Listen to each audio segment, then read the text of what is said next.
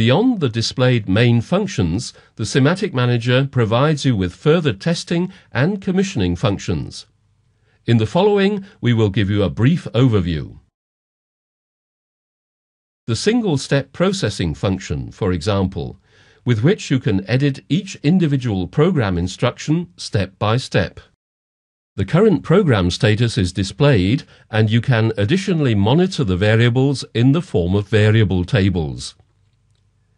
This combination of the testing functions helps you to understand even the most complex algorithms of a block in order to intervene at the right location in case of an error.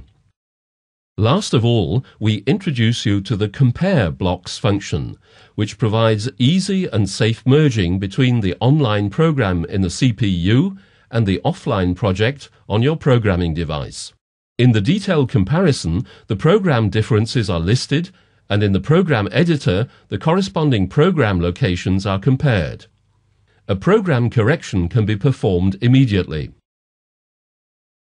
This enables you to synchronize the different program states. Inconsistencies between the development level and the program code currently on the CPU are prevented this way.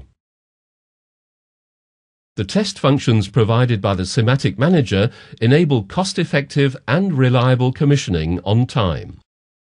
In summary, this means quick and reliable setting of parameters with the editor of the hardware configuration Convenient commissioning by means of simple loading of changed program blocks during running operation.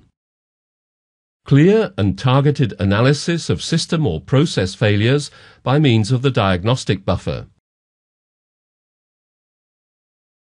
Structured and convenient program model test by means of monitoring, modifying, Practice relevant support by means of extensive information functions such as program structure, cross-reference list, or assignment list